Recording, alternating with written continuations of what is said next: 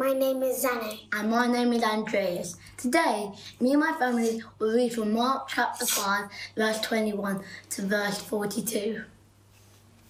Jesus got into the boat again and went, went back to the other side of the lake, where a large crowd gathered around him on the shore.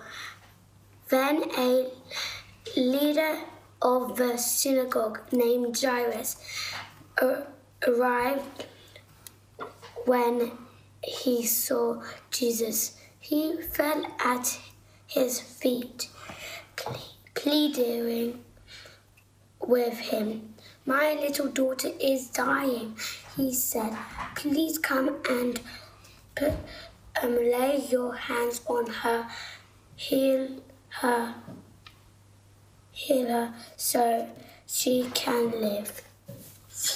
Jesus went with him, and all the people followed, crowding around him.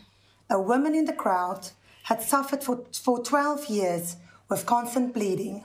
She had suffered a great deal from many doctors, and over the years she had spent everything she had to pay them. But she had gotten no better. In fact, she gotten worse. She had heard about Jesus, so she came up behind him through the crowd and touched his robe. For she thought to herself, if I can just touch his robe, I will be healed. Immediately, the bleeding stopped, and she could feel in her body that she had been healed of this terrible condition. Jesus realized at once that healing power had gone out from him. So he turned around in the crowd and asked, Who touched my robe? The disciples said to him, Look at the crowd pressing around you. How can you ask, Who touched me? But he kept on looking around to see who had done it. Then the frightened woman, trembling at the realization of what had happened to her, came and fell to her knees in front of him and told him what she had done. And he said to her, Daughter, your faith has made you well. Go in peace. Your suffering is over. While he was still speaking to her, messengers arrived from the house of Jairus, the leader of the synagogue. They then told him, Your daughter is dead. There is no use troubling the daughter, the teacher, the teacher now. But um, Jesus overheard them and said to Jairus, Don't be afraid, just have faith. Then Jesus stopped the crowd and wouldn't let anyone go with him except Peter, James, and John, the brother of James. When they came to the house of the synagogue leader, Jesus saw much commotion and weeping and wailing. He went inside and asked, Why are all this why all this commotion and weeping? The child isn't dead, she's only asleep. The crowd laughed at him, but he made them leave, and he took the girl's father and mother and his three disciples into the room where the girl was lying. Holding her hand, he said to her, Ta- ta- Talita Komo, which means, little girl, get up. And the girl who was 12 years old immediately stood up and walked around. They were overwhelmed and totally amazed. Let us pray. Dear Father, thank you that we can be together this morning. We want to pray that you will bless Jodie whilst she bring us the word and that you will open our hearts. Amen. Wasn't that fantastic? Brilliant job there, uh, Van Jaarsveld. Now, I'm hoping behind me on the screen we should be able to see Jodie in Zambia. There she is, ready to go. So I'm now going to hand over to Jodie, who's bringing our preach from Zambia. So over to Jodie. Good morning and greetings from Zambia. Um, I've been here since the middle of October-ish and I'm here with my other hat on, which is my Beyond Ourselves hat. And since I've been here, we've been meeting with every child at the partner schools we have here and just seeing how they're doing and catching up with them. Uh, we've also been doing some refresher trainings in our, with our Jolly Phonics literacy program and also big news, while I've been here, uh, we've had the final yes, the final green light from the key person uh, for our rollout of this literacy programme across the province next year, which has been an amazing answer to prayer. So really thankful to be here for that. Uh, we've also been doing some trainings with our grade sevens and also our grade fives and six. For our grade sevens, our team have been uh, journeying them through the transition from primary to secondary. And then for our fives and sixes, just speaking into their lives, talking about their value and their identity and their belonging and their purpose in God, and putting that and instilling that in them, and how that um, really goes deep in their foundations of who they are and the choices they make. And so it's been great to be here. I'll be back in the UK next weekend, uh, ready for my two week self isolation, which I should emerge from at the same time as lockdown, hopefully. And so I'm looking forward to seeing lots of you after that. But this morning we're on our final Sunday of the Jesus Way series. And this series we've been looking at how do we live life the Jesus way? How do we deal with things that get thrown at us um, the Jesus way? What does that mean? And we started the series, if you can remember all those weeks ago, with those familiar verses, an invitation from Jesus, where he says, Come to me, all who are weary and heavy laden, and I will give you rest. Take my yoke upon you and learn from me, for I'm gentle and humble in heart, and you will find rest for your souls. For my yoke is easy and my burden is light. And if you can remember back then, we talked about this secret of the easy yoke and what the yoke meant. And there's a fly there for you, this is real. and uh, like every rabbi in his day, Jesus had a yoke, and he wasn't a farmer, he didn't have an actual yoke, he was a teacher. And if you remember, we talked about how every rabbi had this yoke, which was their interpretation of the Torah, of the scriptures of the day. But it was more about more than just about their interpretation, it's about how they lived their lives. And so if someone was following a, a, a rabbi, they wouldn't just follow their their knowledge and know, understand their knowledge, but they follow their set of teachings and how to live life. And so, to be a follower of Jesus and a disciple of Jesus, and this, to take up this invitation is to follow Jesus, be an apprentice of Him, and live life the Jesus way. Follow His teaching and live life His way. And that's what we've been talking about. And it's it could be simply put in under three goals and organized into three goals to, to be with Jesus, to become like Jesus, and do what he would do if he were you. That's living the Jesus way.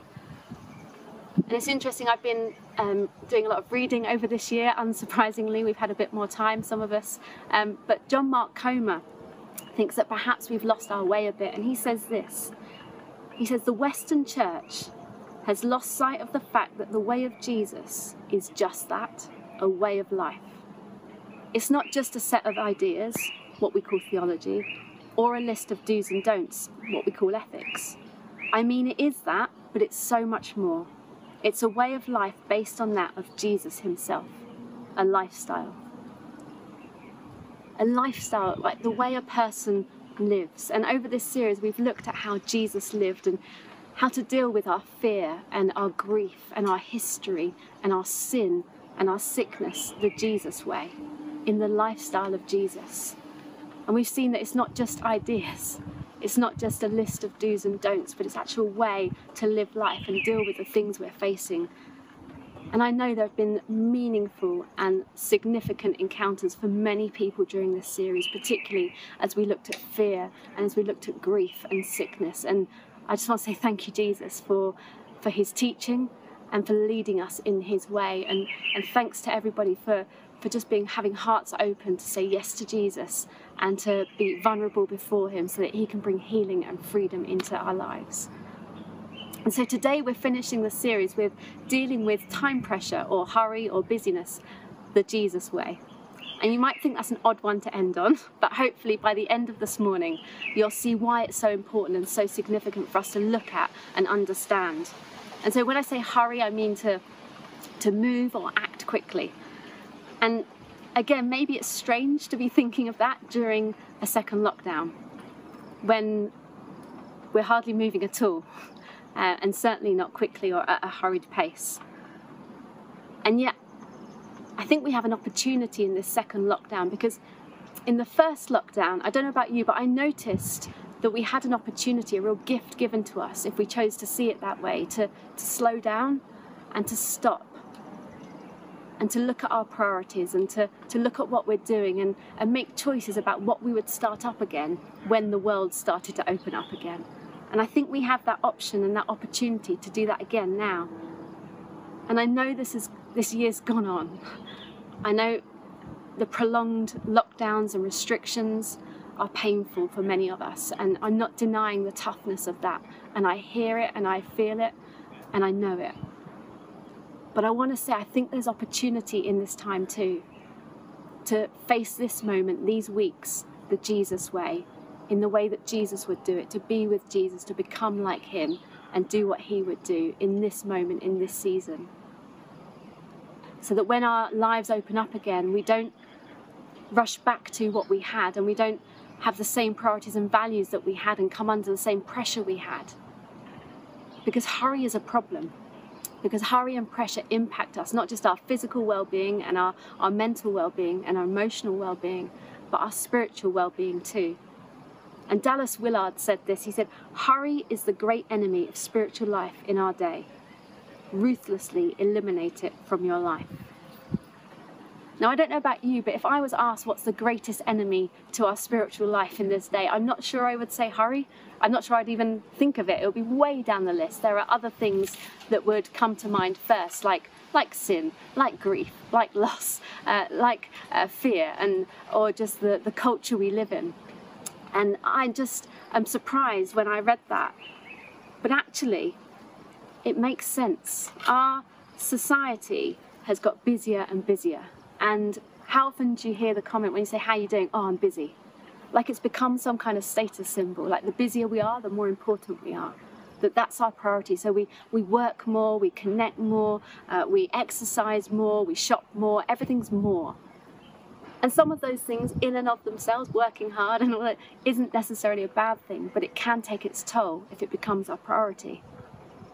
And we often equate free time with a lack of success rather than it being a positive thing. And psychologists, this has fascinated me, psychologists have actually identified um, that we now can suffer from something called hurry sickness. So just listen to, to this description. It's defined as a behaviour, um, a pattern characterised by continual rushing, anxiousness, uncomfortable feeling when you feel short of time, and so you tend to perform every task faster and get more flustered and, and get very frustrated when there's any kind of delay or interruption. Is this sounding familiar at all? In case you're interested and you want to hear more, symptoms for hurry sickness include moving from one checkout line to another, hmm, because it looks shorter and faster. I'm just going to leave that with you. Uh, maybe counting the cars in front of you at the line, um, at the traffic lights or at the roundabout or over here at the tolls and choosing the line that you think is going to go quicker and getting in the lane that's going fastest on the motorway. Or maybe multitasking to the point of forgetting what the actual tasks are. And if anyone dares interrupt you, man, the irritability and that we kind of focus, especially on those who are close to us, and the restlessness we have when we can't seem to slow down or relax, and working habits that mean we don't know when to stop, and just this out of order priorities, and the list goes on and on. And so we do things that try to distract us because we don't know what else to do. So we binge watch TV, box sets, Netflix. We overeat, we mindlessly surf the internet and go on our phones. Is any of this sounding familiar? It can't just be me that has a little bit of a jarring moment when I read those symptoms. And on that surfing the internet and on your phone, did you know the average person touches their phone 2,617 times a day? So, assuming we're getting eight hours sleep, that's just over 163 times an hour we're touching our phones. Just to distract us and busy, busy, busy, hurry, hurry, hurry, pressure, pressure, pressure to respond, reply, know what's going on, information. And as I read uh, this book earlier in the year, John Mark Comer, The Ruthless Elimination of Hurry, I was really struck by something that maybe hurry was the issue that was under all the other issues that I and, and other people experience, maybe you. Maybe the issues in my heart that, that some of us have, the, the low level of anxiety all the time, the anger that leaks out, the lack of life, not, not being present to God or to other people in our lives, the, the breakdown in our own growth and maturity. And maybe hurry had a lot to answer for. For being more anxious, exhausted, on the edge, not handling interruptions well, not being present to, to my body or the moment, and certainly not loving and joyful and peaceful the majority of the time. So I realised I had a choice to make which road I was going to take, which way. And I'm not saying I have it all together um, yet, I'm on the journey, but I do feel like I'm on the way back to, to freedom, to healing, to love. And I think one of the greatest challenges has been to, to unhurry, to slow down, especially in our culture, especially with smartphones. And the lockdown has actually been a real gift in that. But hurry is the problem, is a problem. John Ortberg says hurry isn't just a sign of a disordered schedule, it's the sign of a disordered heart. It's not just the sign of a disordered schedule, it's the sign of a disordered heart.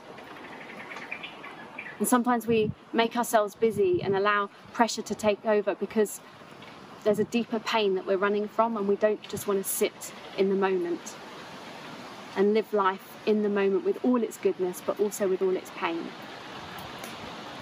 Or it might just be that our priorities are totally out of line and it's disordered. It's not in a kingdom order, it's not in a God order, it's not a Jesus way order. Kingdoms have cultures and a DNA. The UK has a culture, uh, Zambia here has a culture, and Jesus' kingdom has a culture as well. And we often focus when we when we look at the word, when we look at um, our scripture passages, we often focus at what Jesus says about what his words mean and what he's saying to other people about himself and about us and about the state of the world and how we can be reconciled to God. And Jesus' words are really important. But this morning, I don't want to look at Jesus' words. I actually want to look around his words at the culture and the pace and the way that he is in this passage. So thank you to Hildegard and Bernard and family for reading the passage this morning. And there is so much in there that we could look at about Jesus' words and study, and there's a richness there. And I encourage you, some other day, maybe we'll do that, but go do that yourselves. Look at how Jesus is um, with his words in this passage. But today I want to look at his culture, his pace, and his the way he did it, the way he did life. So Mark 5, 27 to 28, we have this key verse where it says, When she heard about Jesus, she came up behind him in the crowd and touched his cloak because she thought, if I could just touch his clothes, I'll be healed. So let's just imagine the scene for a moment. The disciples are there, Jesus is there, sweat's trickling down their back, not dissimilar to mine right now. Sorry, too much information. It's hot here. Um, but can you imagine the scene? The, the crowds are pressing in. Uh, Jesus is on his way somewhere, but then this guy, Jairus, who's a synagogue leader, an important man, that immediately adds pressure. An important man comes to him and says, You've got to come to my house. My daughter is dying. You've got to come. And so Jesus is, starts to slowly make his way with the crowds, and I'm sure this father is going, Just get out of his way, let him get to my house. And then as he's inching along, he feels someone touch him. Not just touch him, but touch him intentionally for his power. And Jesus knows that and he stops. There's a dying girl down the road and he stops. And he has a moment with this woman. He recognizes her faith. He takes time to speak to her, for her to be healed, for her to, to be encouraged and dignified. He calls her daughter. And he has that moment. And can you imagine the father kind of wringing his hands? His daughter's dying. And Jesus has stopped for this woman, this unclean, not whole woman. and he's taking the time to speak to her and, and inspire her and heal her. And then, as that's kind of coming to an end, the messengers come and say, It's too late. The daughter's dead. Can you imagine that father? He's, he's probably spent the last little bit while he's been walking with Jesus to his house, remembering the first time he held his daughter, remembering the first time she walked to him, maybe dreaming about her possible future. That she might marry a man who's also a synagogue leader and he'd have a wonderful son in law, and, and suddenly all of that has disappeared. The daughter's dead. And yet Jesus is not in a hurry. He hasn't been concerned by the interruption. And I don't know about you, but just think about if you were in that situation. I think if I was Jesus, which is a good job I'm not, but if I was Jesus and I was on my way to the house of a very important person whose daughter was dying, I don't think I'd stop. Surely there's nothing more important than getting there and accomplishing that task. I wouldn't have stopped. I wouldn't have allowed that woman to interrupt me. I would have ignored the touch, probably, which means I would have missed out on one of the greatest healings and greatest moments, I think, in, in the Gospels. And yet Jesus stopped. It seems like to Jesus' life had no interruptions. In fact, when we look at the gospel stories, very few of them are about his planned and formal teachings. They're more about his interruptions. I mean, in this story today, his interruption was interrupted because he wasn't on his way to Jairus' house first of all, he was going somewhere else. But Jairus interrupted him, and then the lady interrupted that. His interruptions were interrupted, and yet Jesus seemed to always have time for them. He didn't ever seem to get bothered or angry at anyone interrupting him. So, why weren't interruptions irritating to Jesus like they are to us?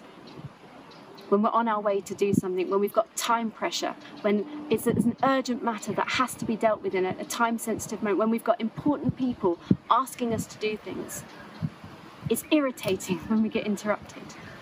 And yet, Jesus didn't seem bothered. And I think it's to do with his priorities. Remember when Jesus was asked, What's the most important commandment? He was asked by the lawyer, What's the most important commandment? And Jesus says this He says, You shall love the Lord your God with all your heart, and with all your soul, and with all your mind. This is the greatest commandment. The second is like it You shall love your neighbor as yourself. Love the Lord your God. Jesus defined love as the highest priority in the kingdom. And love is a quality of relationships. It's mission critical. It's what the thing that mattered most to Jesus were people, love, relationships. Comer in his book is really clear about the dangers of hurry and love. He says this on, on page 23 he says, Hurry and love are incompatible. And even more strongly, he says, hurry kills relationships. So it turns out Phil Collins, no relation of mine, was right. You can't hurry love. Who knew? But on a serious note, it's interesting for me to be speaking about hurry and love when I'm here in Zambia. Uh, from a place that feels like a second home to me, uh, a place that's taught me a lot about hurry and a lot about love. And it's taught me a lot about slowing down and putting people before task. I mean, there's just in a warmer climate, you just can't rush around. In 30, almost 40 degree heat this week, you can't rush around, it's too hot. And it's there's no air conditioning inside. And that's true for many hot climates, countries that are hot climates. You don't see people rushing around in the same way always because it's just not physically possible. The sweat would drown you. but there's something else here aside from the climate. More than this, generally, if I'm walking somewhere to accomplish a task, maybe to go and speak to somebody, maybe to go and do something in town, if I meet someone along the way, then I will stop. and I'll greet them. I'll find out how they're doing, how their family are, and will allow for that interruption to happen because that's the culture here. I've observed it, I've seen it, I've received it on my part, and I've learnt to offer it out as well. Something I wouldn't maybe naturally do in England. But I stop and welcome the interruptions. And do you know what? Some of those moments have, have been some of my favourite times over the decade of chatting with people who I bumped into unexpectedly, having those moments of connection, trying to be present in the moment, no matter what the task is ahead of me that I need to accomplish. And that's not unique to here at all. Um, some people are naturally wired this way, which is a real gift. And uh, some people have reprioritized their lives to live that way. Um, I'm a big fan of Michelle Obama, and uh, I recently watched her documentary, Becoming, um, because I'd read her book of the same name. Highly recommend both of those things. But something really struck me in the documentary, and I think it was one of her assistants said that no matter at book signings and things like that, no matter how many people are in the line, no matter how big the pile of books she needs to sign, Michelle Obama doesn't look at the line of people or the pile of books. She looks at the person in front of her. She chooses to look them in the eye, say hello, find out their name, ask where they're from, and value the person right in front of her. She doesn't get distracted by the task. And I think that is such an incredible character trait, such an incredible choice to live that way, to prioritize people in that way. And obviously, it makes me think of Jesus, that in the story today, people pressing in on him. And that happened all the time, crowds following him, people to teach, people to see, people to heal, the most important mission, the most important task in all of history to accomplish and yet we never once see him hurry or pressurized by people or time. And so Jesus offers us this radical countercultural invitation to an unhurried life, a life of rest, a full life, a life full of joy and peace and love. And he had the opportunity, he had the time to talk to people, to sleep, to eat meals, to welcome interruptions. If there's anything we pick up from the stories of Jesus, it's that he wasn't in a hurry. He wasn't pressured by time or people. It wasn't the Jesus way. So, what was the Jesus way? What is the Jesus way? Well, it's not like Jesus didn't do anything. He had a full life, um, just not over full. He wasn't overly busy that it became toxic in, in its hurriedness, and it meant he didn't have to cut out the things in front of him and the people in front of him and miss the moment. And he seemed to welcome these interruptions and not see them as an annoyance or a bother like we do. Like I said, he's so often interrupted that his interruptions got interrupted, like today. But also, Jesus was an interrupter, as he, kind of interrupted death of Jairus' daughter and brought her back to life. Interruptions in the kingdom of God don't stand in the way of the kingdom. It's about our priorities. You know, Jesus strikes me as so present in the moment, so present and so aware of heaven and earth in his body and around him. You think about one of his most famous sermons, and he stops in the middle of it and goes, Look at the birds in the air. He's so present. I don't know if you can hear the birds here, but just so present in the moment. Listen to the birds in the air, look at them. He just takes that moment of interruption from a bird. Another thing, Jesus, that was key to Jesus' way and Jesus' teaching and his way of life was this idea of the easy yoke, the life, the full life, a, a life of rest and abiding in him. And I think if we want to live the Jesus way and glorify him, I'm going to say I'm I think that can only happen when we're well rested when we're happy, when we're at peace. I'm not sure we glorify Jesus or live the Jesus way when we're exhausted and tired. And that's a byproduct of hurry and pressure. Because Jesus At the centre of his vision for the kingdom, for the culture of the kingdom, was this trio of love, joy, and peace. And Paul talks about it a lot. And they're not just emotions, they're, in, they're the inner disposition, the inner being of who we are, that we, we have love, joy, and peace in its fullness on the inside. And that we can be like Jesus, become like him, and do what he did.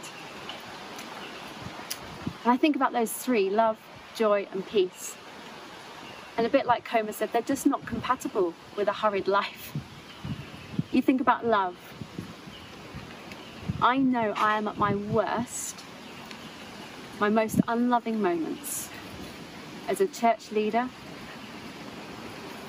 as a friend, as a daughter, as a sister, as an auntie, when I'm in a hurry and when I feel pressured. And if my mum or dad are on the chat this morning, they could testify to that. They get the worst of me. I'm the most unloving when I'm stressed and under pressure and in a hurry. And I'm really sorry for that, mum and dad. What about joy? All the experts on happiness, whether they're Christian or, or not, seem to agree that there's a, the secret to a happy life is being present in the moment, even if it's not a great moment.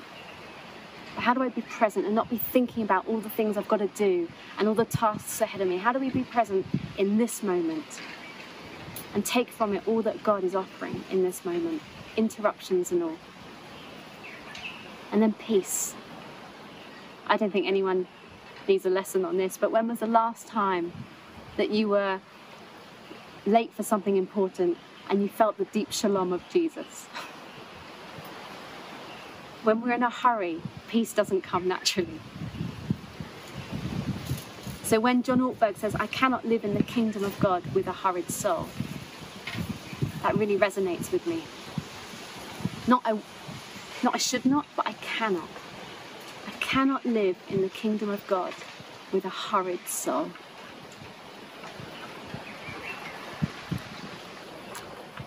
And so here we are with this gift of lockdown. And I know it doesn't feel like a gift. I know it's tough.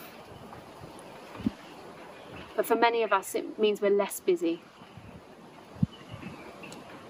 We have a chance to slow down and unhurry. And for those of us who are still busy, who still have a lot to accomplish, then we need to hear this too. We need to make sure we're prioritizing the kingdom living the Jesus way, dealing with pressure and hurry the Jesus way. Rethink our priorities, rethink what we're valuing, rethink our time scales and our routines so that we can live the Jesus way. So I'm just going to finish with some really practical ideas that John Mark Comer mentions and you can read about uh, much deeper in his book and on his website and all things like that. But four practices, spiritual disciplines, practices, routines, habits that can help us unhurry and take on the yoke of Jesus, the easy yoke that we might enter rest and have life in all its fullness of love, joy, and peace. So here we go. Number one, silence and solitude. And when I say silence and solitude, I don't mean lying on your bed scrolling through Instagram on your own. That's not silence and solitude, that's just having a bit of me time, which is lovely, but this isn't what I'm talking about. Silence and solitude, time intentionally alone with God. Time to stop and be quiet, be still, and listen to God. To allow the things that are making you anxious rise up and offer them to Him. Find a time to, to do it, maybe every day. Jesus spent time in, in solitude with his Father. The, other, the second thing we can do is, is Sabbath. And I think if we're honest, a lot of us haven't taken Sabbath seriously. I've always intended to, but I've never really made it a practice until this year. And so since September, I've actually put in my diary from 5 pm on a Friday to 5 pm on a Saturday is my Sabbath, my Shabbat, my time to stop, to rest, to delight, and to worship. My phone goes away for the majority of it, and I fill it with time with people I love that bring me joy, people, spend time with Jesus, be present with Him, just to stop, rest, delight, and worship. And since September, I've been re- in my diary, it's blocked out. And you know what? I'm not sure I would have got through the last few months without having had those intentional Sabbath days. And so I want to encourage you um, to, to put that in your diary. If you're a busy person, even more so. Do you know what? I haven't been less productive. I haven't accomplished less. I haven't felt any more pressure. In fact, I think it's the opposite. And so I want to really encourage you to think about taking up the Sabbath as God intended. He designed us to have a day of rest. The third thing, simplicity. So the goal there is to, to not just declutter your wardrobe or your kitchen or your shed, which is great to declutter, but to declutter our lives, our hearts a little bit more, to center them on who and what really matters, Jesus and his way, his kingdom. It's an opportunity to be defined by that. And two really easy ways to, to start to simplify life is to limit how much we own, to think about what we're buying. And the second thing to do is to practice generosity and there's a freedom in that. And a key question when it comes to simplicity is what would Jesus do if he were me? If he had my gender, my career, my house, lived in my neighborhood, what would he do? And it just helps simplify some of our decisions in how we spend our time and how we spend our money. So I'll leave that one with you. The fourth one, the last one, is slowing. John Ortberg again um, he said something great about slowing. He said, This is cultivating patience by deliberately choosing to place ourselves in positions where we simply have to wait. So remember back earlier when I was talking about the hurry sickness, where we choose the shortest line and we try and get things done quicker. This is the opposite of that. And practicing this, intentionally doing, intentionally driving the speed limit. Yes, you. Intentionally driving the speed limit, intentionally going in the slow lane intentionally showing up 10 minutes early without our phones, just to stand there, just to sit there. Turning our smartphones into a dumb phone. I've done this, I've turned off all notifications on my phone. Um, I've I've moved all the apps across so I can't access them. I've turned it a bit into a dumb phone. Um, or you can parent your phone. I love this idea. I hadn't come across it before. It's a parent your phone. So put your phone to bed before you go to bed and don't let it wake you up. You go and wake it up in the morning. Parent your phone. Don't take it to bed with you. Um, keep your phone off or put it on Do Not Disturb. Again, another practice I've taken up. Uh, set times on social media. You can do that on your uh, time limits on your most smartphones. You can limit your time so you're not scrolling aimlessly. Set times for when you're going to send emails. So a block of time rather than constantly replying to the, the flow of email. Set a time aside in the day to do that if you're at work walk slower. We're in lockdown. Where else have you got to be? Exercise isn't limited to an hour this time, so walk slower. Enjoy it. Be present in the moment.